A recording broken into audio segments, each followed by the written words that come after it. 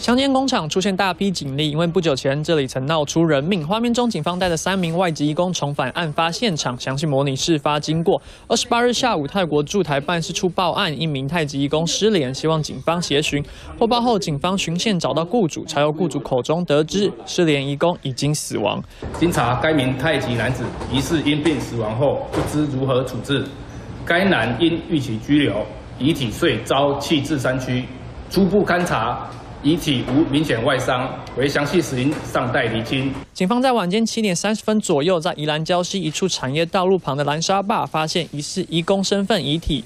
据警方表示，该名太极义工死亡后，雇主担心违法雇佣逾期拘留员工，找来死者配偶和两名太极友人协助弃尸。事发后，死者配偶因良心谴责，将消息通知死者在泰国家属，案件才因此曝光。